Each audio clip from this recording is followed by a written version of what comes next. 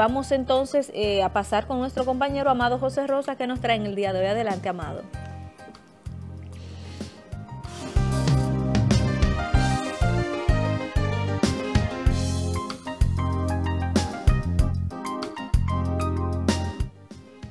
Bien, gracias a Carolina, gracias a gracias a los demás eh, amigos, compañeros de trabajo que nos permiten a, a, nosotros llegar hasta ustedes cada día a través de este programa de mañana, por este canal 10 de Telenor, siempre al servicio de su gente.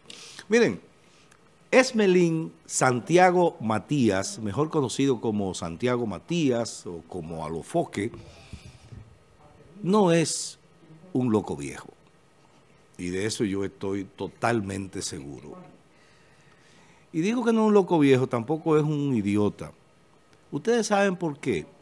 Porque Santiago Matías, que comenzó su carrera, abandonó la carrera de informática en la Universidad Autónoma, eh, viene de viene del barrio, el barrio, ese barrio que está ahí en la capital al lado de, de Villa Consuelo, Ah, caramba, ahora no me acuerdo cuál fue el, cuál era el barrio. ¿Eh? No, no, Los Minas está en el otro lado. Los Minas está eh, eh, ahí al lado Capotillo del río. no es. ¿Eh? Capotillo. Capotillo. Capotillo. De Capotillo. Se llama, él se llama Esmelín Santiago Matías. Lo crió su abuela. Y fue su abuela la que lo obligó a ir a la universidad.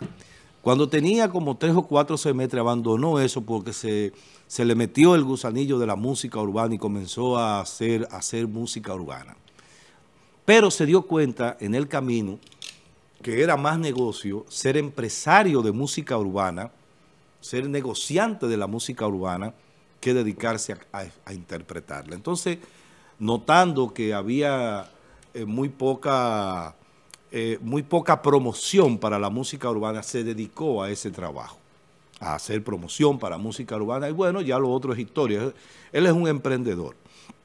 Pero Santiago Matías tiene dos millones y pico de seguidores que vorazmente necesitan consumir las informaciones que él puede ofrecer. ¿Y de qué vive Santiago Matías? Del escándalo, vive de la vorágine, vive de estar en el foco, vive de estar en el ojo del huracán y por esa razón a cada momento necesita ruido, necesita sonido. Entonces, eh, hace unos días él despachó de su sistema de radio. Bueno, debo decir que Santiago Matías hoy por hoy uno de los radiodifusores más exitosos de la República en este momento. Sí. No es que sea el mejor, ni no, no, no exitoso en el sentido de que ha logrado una plataforma a los Foques Radio Show, eh, a los Foques Radio y además una plataforma, una emisora, Sonido Suave, que lamentablemente cambió el tipo de música porque la compró él junto a, creo que a este artista Ozuna. colombiano, Osuna. Eh, puertorriqueño, boricua. Ah, ok, boricua, Osuna. Osuna y él son socios, compraron la emisora y ahora por ahí se está desarrollando toda su plataforma. Entonces, ¿qué le pasa a Santiago Matías? Santiago Matías necesita estremecimiento permanente para poder mantener los dos millones, porque, óigame, no es fácil mantener, usted dice, ah, dos millones. Sí, pero para usted mantener esos dos millones interesados en usted, usted tiene que hacer mucha vaina, inventarse mucho disparate. Sí, pues ahora, él acaba de decir que este que le dicen el jefe, ¿cómo que se llama? El alfa. ¿Cómo es la mamá de la mamá que canta? El alfa. Coño, es la mamá de la mamá, el alfa. Eh, es más, ¿cómo fue que dijo? Tú escribiste una vaina en, en, en internet, de, eh, en, Facebook, escribiste sí. algo. ¿Cómo que dice él que él es, que es más exitoso, hoy por hoy que, es más exitoso? Que tiene eh, mayores números y es más influyente. Que Juan Luis Guerra. Sí. Oiga, qué cosa más tremenda. Y la gente salió inmediatamente a defender a Juan Luis y comenzó a desgarrarse la vestidura porque él dijo algo que es un disparate. Ahora, ¿quieren que yo le diga una cosa?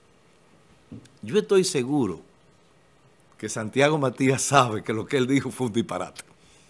Y yo estoy seguro que Santiago Matías sabe que el disparate que él dijo, lo, lo dijo para lograr eso que yo entiendo él debe de hacer permanentemente, mantenerse en la palestra, porque si no se le van los dos millones. Se le baja el ser- rating, el rating se le baja. el micrófono, mi vida. El rating, se le, el rating se le Claro, baja. claro. Entonces la gente tiene que entender eso. Yo no me quiera, yo me he querido meter en esta polémica porque realmente yo sé que es lo que hay detrás de la polémica. Cada vez que tú te metes en una polémica de ese tipo, con un tipo como Santiago Matías, tú sabes que lo que tú estás engrandeciéndole su, su, su, su sistema, su, su, su estada, ¿no? Todo es la plataforma que él ha creado y en definitiva es para, es para eso. Ahora acaba de decir Roger Saya que Juan Luis es la realeza. Realmente él dijo un disparate y él sabía que decía un disparate. ¿Por qué? Porque miren, cuando u- u- u- eso es incomparable. Yo no me atrevo a comparar una vaina que tiene pegada eh, eh, el alfa. ¿El alfa qué se llama? El alfa. El alfa. Una vaina que tiene pegada el alfa que se llama la mamá de la mamá. Oigan qué es lo que dice eso. Yo quiero, a mí me gusta toda tu descendencia porque tú me das la mamá de la mamá. Y eso se repite 26 veces. Ah, pero ahora ya entendí. Nada más. que la madre.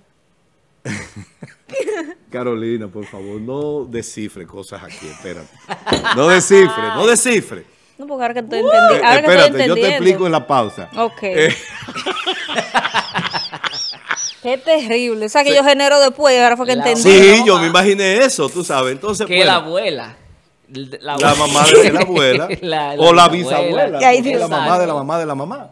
Entonces, entonces cuando usted eh, nota eso eh, y usted dice, caramba, eh, ¿cómo es posible que este muchacho compare? Porque no es, un- no es un idiota, no es un estúpido. ¿Cómo compara una cosa con otra? Eso no dice más nada. No, hay una estrofita a mitad que dice como, eh, qué sé yo, que de la abuela, algo así. No recuerdo qué es lo que dice a mitad. Pero sí sé que luego vuelve y dice la mamá de la. Bueno, se repite 26 o 27 veces la misma expresión. Es lo único que dice. Óigame, usted compara eso, eso es incomparable con Bachata Rosa. Eso es incomparable con, por ejemplo, Soplando, que fue la primera producción de Juan Luis. Juan Luis vivía en Boston, iba y venía de República Dominicana a Boston. Trabajaba aquí para poder conseguir los cuartos de irse a Boston y terminar en el Berklee College of Music de Boston, donde se graduó de músico. Es compositor, es arreglista, es cantante, es músico. Es una estrella, es una estrella. ¿eh? Entonces, yo lo que le quiero, este comentario yo lo hago para mis amigos, decirles, no se metan en una polémica que quien la inició, quien la inició sabe que dijo una estupidez. Y que además, cada vez que alguien dice eh, que eh, a, a los que está equivocado y que es un disparate y que es esto y que es aquello, lo que está haciendo es aumentándole su plataforma. Esos tipos que siguen a los foques ahora, por ejemplo, andan detrás del periódico El, Listín Diario, donde Roger Saya, su compañero de toda la vida, ha dicho, Juan Luis es la realeza de la música popular y es verdad. Juan Luis es un mago de la música, todo lo que toca lo hace belleza. ¿eh? Y es un hombre impercedero y va a ser impercedero en la República Dominicana como músico, como cantante, como compositor, como arreglista. Va a ser impercedero, el alfa se va a olvidar. Es más, quieren que le diga una cosa. Los tipos que siguen al alfa, miren, el, el- el- el- segmento poblacional que sigue a los foques y a ese grupo está entre los 18 y los 30 años. ¿Ok? Ahora mismo. Claro, es un segmento importante porque tú a los 18 años te enamoras de las cosas y a, los un fiel 30 y- seguidor, un y a los fanático. 30 o 30 y pico tú tienes capacidad de compra. Entonces eso hace que él, que su que lo que lo que él hace sea atractivo, sobre todo para empresas que quieren venderle a ese segmento poblacional. Dime. Te mandé, te puse un material, amado, me atreví a, a enviárselo a Giovanni para a, eh, a ayudar ahí en el comentario o aportarlo. Más bien lo podemos poner en pantalla. Los 70 millones de discos que ha vendido Juan Luis Guerra, la cantidad de Grammy que ha 23 ganado. Grammy, 3 Grammy, Ahí está en 3 pantalla, me Billboard, parece el dato. 3 Billboard. Entonces, cuando tú comparas eso por eh, dos o tres millones de views que se tienen en un momento determinado y tú sopasas, eh, sopesas en el tiempo, la historia, la carrera musical, la imagen que es, Es o sea, eh, había un comentario, Eh. una gente que comparar, la, no voy a decir el término, la que, el oro con... Sí, sí, sí, sí, sí. Sí, le tenemos la foto ahí para orientar a los amigos Pero eso le televidentes. ayuda al, al, al proyecto de Míralo Alofo. ahí, Amado. Ahí están Sí, los datos. Sí, exacto. Eso es en Wikipedia. Está la eso. carrera Esa es de la información. Míralo ahí, 21 Grammy, creo que eran 23. Pero tiene tres Billboard y tiene tres premios, tres, tres o cuatro premios lo nuestro. Premio y lo la nuestro. cantidad de discos De la música latina. Y la cantidad de discos vendidos. Sí, pero, pero oye, oye esto. Solamente, solamente escuchar la primera producción de Juan Luis Guerra no fue mudanza y acarreo, como mucha gente cree. La primera producción de Juan Luis Guerra se llama Soplando. Fue eh, el tema que, es el tema emblemático de esa producción, se llama así mismo, porque fue un tema hecho en homenaje al mejor saxofonista de este país que se llama Don Tabito Vázquez. Me quito el sombrero ante don Tabito Vázquez, fallecido ya hace unos años. Y Tabito tocaba con Juan Luis Guerra. Tabito es, era, era un hombre que viene del jazz. Los jazzistas son músicos inspirados y que tocan sus instrumentos con las manos divinas. O sea, estamos hablando de músicos de verdad. Cuando usted habla de jazzista, usted está hablando de músicos de verdad. Y el jazzista que oye la música de alguien es porque ese tipo es un mago de la música. Y eso pasa con Juan Luis. Es, en, ese trabajo, él le hizo un homenaje a don Tabito Vázquez. eh, creo que el, texto eh, lo hizo como lo que él ideó en principio que debía ser su grupo, 440. Los cuatro cantaban al unísono y mantenían el nivel de afinación perfecto que es el 440. Pero ¿qué pasa? Que Bienvenido Rodríguez, dueño de Karen, no, no, no vio eso como comercial. Y le dijo, mira, yo te lo voy a grabar. Primero no lo quiso y después, cuando vio que el muchacho tenía talento para complacerlo, dijo, yo te lo voy a grabar, pero eso no va a tener salida. Lo vamos a grabar, no hay ningún problema. Y entonces luego le dijo, pero tiene que hacerme una producción comercial. Y ahí salió. Por eso es que la gente cree que mudanza y acarreo eh, es eh, que donde está Mientras más lo pienso tú, por ejemplo, que es un tema conocidísimo de Juan Luis. Eh, la gente creía que, que la primera producción era esa porque salieron prácticamente una detrás de otra, pero la primera fue soplando. Y ahí hay, hay un tema de, de- de jazz latino que, es- que dice, toma tu saxo, afínalo, cuando esté listo, vamos y ponlo en do. Do es la, no- la nota musical, no importa si, sopra- si soprano, alto bajo. Óyeme, es una maravilla, es una es un te- texto, un tema que el que lo oye sabe que quien lo escribió es un músico de verdad. Yo le pedí a producción una canción para que al final de tu comentario la pusiera, o no sé si ahora, Amado, tú eres... Sí, no, no, yo lo que quiero decir es eso. O sea, miren, miren, miren, en realidad ¿La eh, ahí, Santiago Matías ha estado jugando con Escucha. A subirle un poquito aquí abajo. ca- ojalá que llueva café. Eso es con, con la mamá de la mamá. Por favor. Ahí está. Bajo, cara así. Óigame, cuando Camarón de la Isla, que es uno de los cantadores andaluces españoles más famosos del mundo, escuchó ese tema, dijo, no, yo tengo que grabar eso. Y llamó a Juan Luis. Y, Juan Luis le dijo, claro que sí, imagínate, le estaba llamando dentro de su música, dentro de su género, el tipo más celebrado de España, Camarón de la Isla más celebrado incluso que este guitarrista Paco de Lucía, mucho más celebrado que Paco de Lucía. A mí me encanta Paco de Lucía, pero Camarón de la Isla es un tipo con, un tipo con, con- con muchas luces, con, y desde que se le dijo, mira, magnífico, grábalo, no hay ningún problema.